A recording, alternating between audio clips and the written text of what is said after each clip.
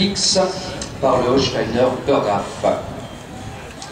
Pierre-Louis Balzan est le naisseur en Charente-Maritime, Florian Guérin, son propriétaire, et Victor Poirier, son cavalier.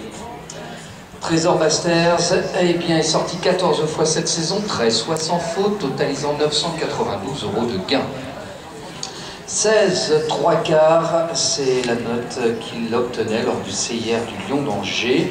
Euh, et eh bien, vous avez devant vous le vice-champion d'ailleurs de ce CIR, un parcours parfait hier. Vous aurez certainement reconnu aussi le cavalier du team Nicolas Levillain.